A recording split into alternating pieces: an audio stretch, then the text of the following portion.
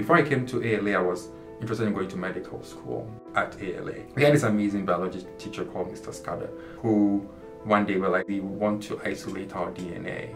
So we got cells from our cheek, we had this kind of water organic mixture. Right? So I saw my DNA pretty much climbing up the water uh, organic interface.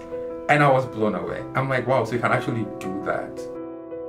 Reading a lot about like the Human Genome Project, where they sequence the genome of man, and then how that has helped in treating a lot of diseases that we had no idea about before.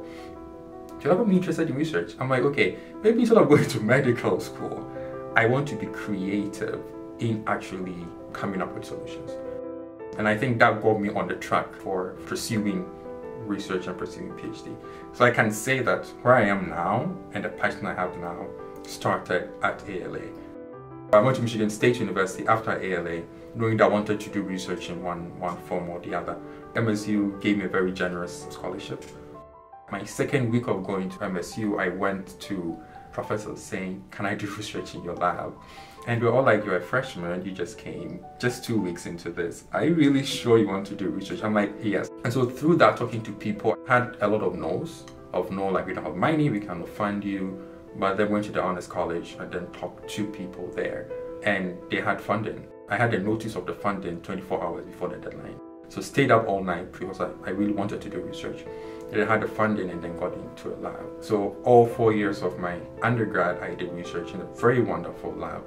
My first year after doing research in the lab, I wanted to do an internship. ALA was really involved. I remember contacting Mr. Scudder. Then Mr. Scudder emails me and goes like, oh yeah, so I just talked to the director of the National Institutes of Health. So that was how the NIH internship program was set up. After graduating, I was able to get a one-year research internship at MIT where I worked in the cancer field. After working there for a year, I got into Harvard. Many people, when they have cancer, they have been treated with either chemotherapy or radiation. But then there's usually a lot of relapse. The immune system has something called memory, right? And that's why vaccination is important. And so then with memory, the cancer tries to come back again, the immune system is educated enough to be able to clear it.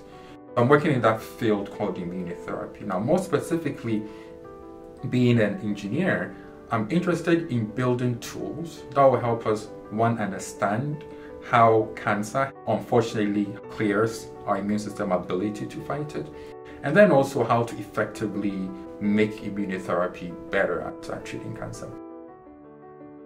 Many African countries play catch up. We wait for the breakthroughs to come from the West, whether the US or the UK and then we follow. But what we do not realize is that there's a lot of breakthroughs are specific to them, right? And so then we just have to try to adapt to our situation, which doesn't always work.